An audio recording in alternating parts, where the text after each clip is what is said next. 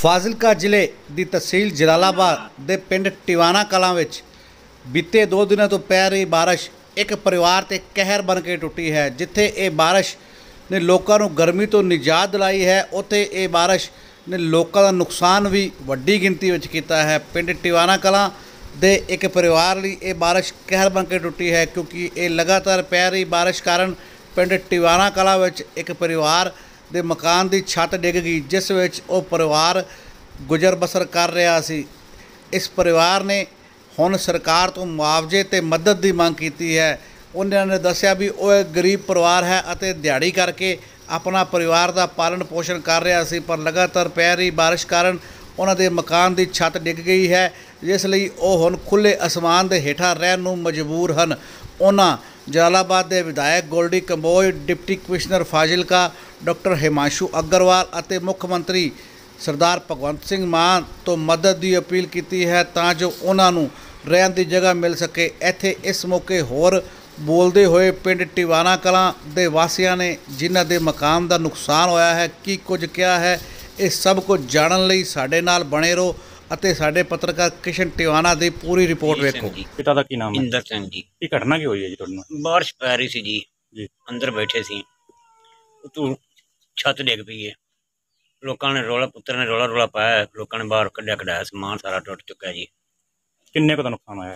ਨੁਕਸਾਨ ਸਾਰਾ ਹੀ ਹੁਣ ਸਾਰੇ ਫਿਸ ਫਸਾ ਗਿਆ ਜੀ ਇੱਕ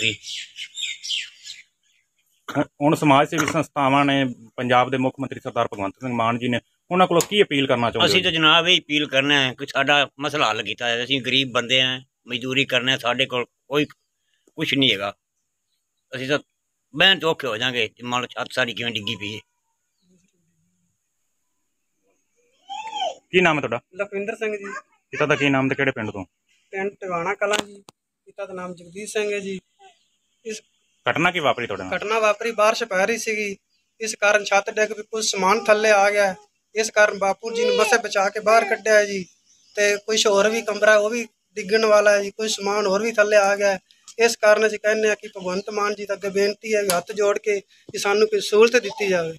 ਅੱਜ ਤੱਕ ਕਿਸੇ ਕੋਈ ਸਰਪੰਚ ਨਹੀਂ ਕਿਸੇ ਨੇ ਨਹੀਂ ਅੱਜ ਤੱਕ ਆ ਕੇ ਸਾਡੇ ਵੱਲੇ ਤੌਖਲਾ ਕੀਤਾ ਵੀ ਚੱਲ ਕੋਈ ਵੀ ਸਾਨੂੰ ਵੋਟਾਂ ਲੈਣ ਆਏ ਨੇ ਸਾਨੂੰ ਕਹਿੰਦੇ ਵੀ ਤੁਹਾਡੇ ਕਮਰੇ ਪਵਾਵਾਂਗੇ ਸਭ ਕੁਝ ਕਰਾਂਗੇ ਸਾਡਾ ਕਿਸੇ ਨੇ ਕੋਈ ਹੱਲ ਨਹੀਂ ਸ- ਕੀਤਾ ਜੀ। ਪਤਾ ਹੀ ਨਹੀਂ ਲਿਆ ਜੀ।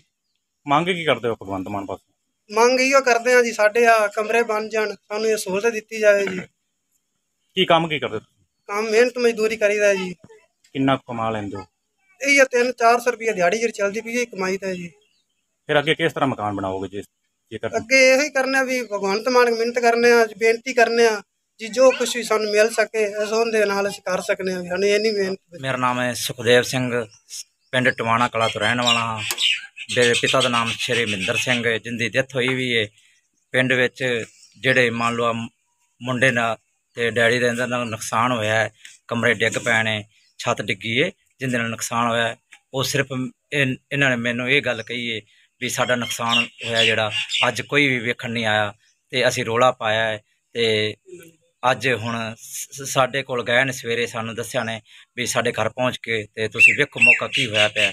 ਤੇ ਅਸੀਂ ਆਏ ਆ ਤੇ ਇਹਨਾਂ ਦੇ ਮਕਾਨ ਦੀ ਛੱਤ ਡਿੱਗੀ ਪਈ ਤੇ ਸਮਾਨ ਕੁਛ ਨਾ ਕੁਛ ਜਿਹੜਾ ਹੈਗਾ ਹੈ, ਸਮਾਨ ਅੰਦਰ ਪਿਆ ਸੀ ਉਹ ਵੀ ਮੰਨ ਲਓ ਟੁੱਟ ਭੱਜ ਚੁੱਕਿਆ ਹੈ ਤੇ ਜਿਹੜਾ ਮੰਨ ਲਓ ਇਹ ਗਰੀਬ ਪਰਿਵਾਰ ਹੈ ਮਿਹਨਤ ਮਜ਼ਦੂਰੀ ਕਰਕੇ ਇਹ ਬੱਚੇ ਪਾਲਦਾ ਹੈ ਤੇ ਦਿਹਾੜੀਦਾਰ ਬੰਦਾ ਹੈ ਮਜ਼ਦੂਰੀ ਕਰਦਾ ਹੈ ਤੇ ਇਸ ਇਸ ਪਰਿਵਾਰ ਦਾ ਜਿਹੜਾ ਨੁਕਸਾਨ ਹੋਇਆ ਪਿਆ ਮੌਕੇ ਤੇ ਆ ਕੇ ਸਰਕਾਰੀ ਅਫਸਰ ਕੋਈ ਵੀ ਉਹਨਾਂ ਦੀ ਡਿਊਟੀ ਲਗਾਈ ਜਾਵੇ ਵੀ ਜਿਹੜੀ ਵੀ ਇਹਨਾਂ ਦਾ ਨੁਕਸਾਨ ਹੋਇਆ ਹੈ ਤੇ ਇਹਨਾਂ ਦੇ ਕਮਰਿਆਂ ਦੀ ਜੋ ਵੀ ਹੋਈ ਪਈ ਹੈ ਅੱਜ ਘਟਨਾ ਛੇਤੀ ਤੋਂ ਛੇਤੀ ਆਣ ਸਰਕਾਰੀ ਅਫਸਰ ਵੀ ਇਹ ਨਾ ਹੈਗਾ ਹੋਵੇ ਵੀ ਕਿਉਂਕਿ ਇਹ ਗਰੀਬ ਪਰਿਵਾਰ ਹੈ, ਇਹਨਾਂ ਨੂੰ ਬਾਹਰ ਰਹਿਣਾ ਵੀ ਮਜਬੂਰ ਹੋ ਸਕਦਾ ਹੈ।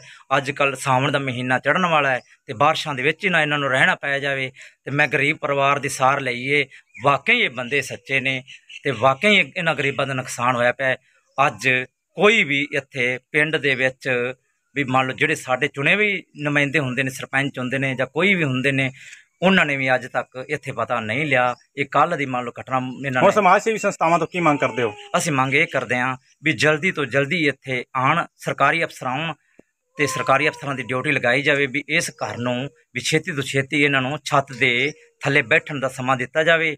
ਇਹ ਨਹੀਂ ਹੈਗਾ ਵੀ ਇਹ ਇਹ ਸਰਕਾਰੀ ਦਫ਼ਤਰਾਂ ਵਿੱਚ ਵੀ ਧੱਕੇ ਖਾਂਦੇ ਫਿਰਨ ਵੀ ਅੱਜ ਤੁਹਾਡੀ ਫਾਈਲ ਕੱਢਦੇ ਆ ਤੇ ਕੱਲ ਕੱਢਦੇ ਆ ਇੱਥੇ ਸਰਕਾਰੀ ਅਫ- ਅਫਸਰਾਨ ਮੈਂ ਭਗਵੰਤ ਮਾਨ ਜੀ ਨੂੰ ਮੁੱਖ ਮੰਤਰੀ ਜੀ ਨੂੰ ਇਹੀ ਅਪੀਲ ਕਰਦਾ ਹਾਂ ਪਿੰਡ ਦਾ ਵਾਸੀਆਂ ਮੈਂ ਸੁਖਦੇਵ ਸਿੰਘ ਹਾਂ एबीएन न्यूज चैनल देखने वाले सभी दर्शकों से हम अपील करते हैं कि एबीएन न्यूज चैनल पर ऐसी ही लेटेस्ट खबरें देखने के लिए हमारे चैनल को सब्सक्राइब करना ना भूलें जय हिंद जय भारत